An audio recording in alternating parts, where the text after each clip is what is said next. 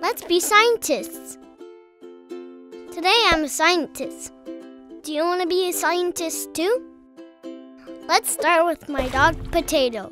When she's thirsty, I fill up her bowl with water and she takes a big slurp. My mom's plant is looking thirsty too.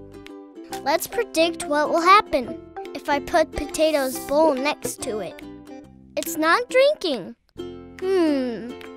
Do you think I should pour water in the flower pot? Oh, that's much better. Plants don't drink water with their mouths like Potato and me. They soak up water through their roots. Let's paint a picture of the plant to remember what we discovered.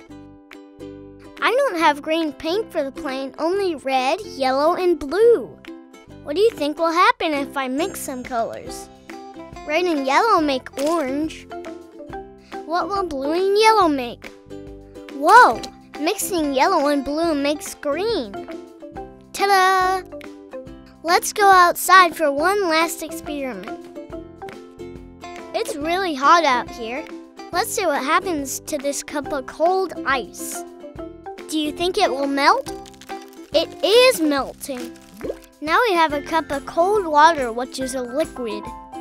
When water is frozen into ice, it's a solid. Water can also be a gas. That's the steam you see when grown-ups heat up water on the stove. Hey, Potato. Still thirsty, girl? Thanks for playing scientist with me today. Look around you. Can you make a prediction?